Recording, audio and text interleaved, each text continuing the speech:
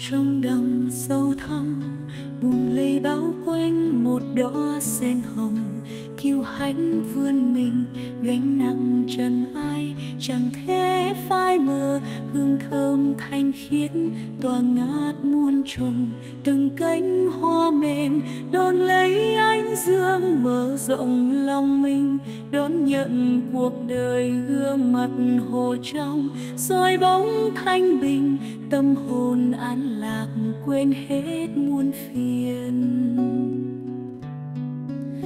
rễ sâu bên đất nuôi dưỡng thân hoa trái tim vững vàng giữa cuộc đời đua trên dẫu sóng gió nổi vẫn giữ tâm yên, hoa sen tinh khiết luôn tỏa hương thơm trong vạt đâm sâu, một mầm xanh nhu vươn mình đón nắng. Tâm hồn thư thái, hoa sen nở rộ, sắc hồng tươi thắm. Tỏa hương thơm ngát xua tan phiền não.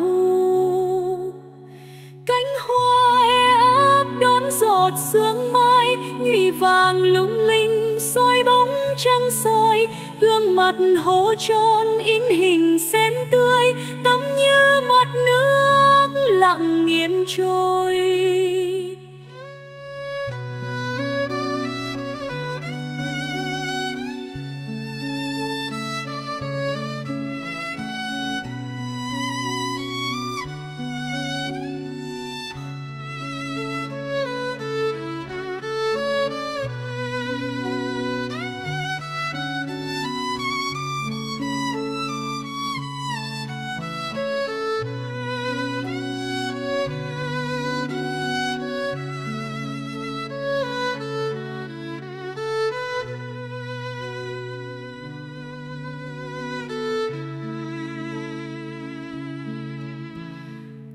Sen tròn đầy như gương sáng chiếu, soi vàn vẫn không một chút mờ cánh hoa e ấp như tâm hồn trẻ thơ tinh khiết trong sáng giữa cuộc đời rối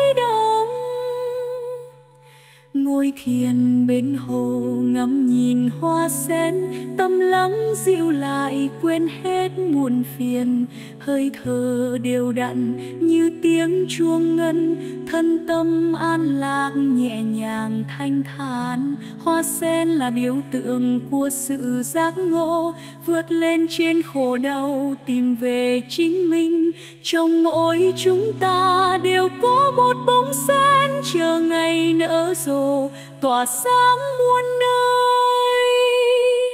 Trong mỗi chúng ta đều có một bóng sen, chờ ngày nở rộ, tỏa sáng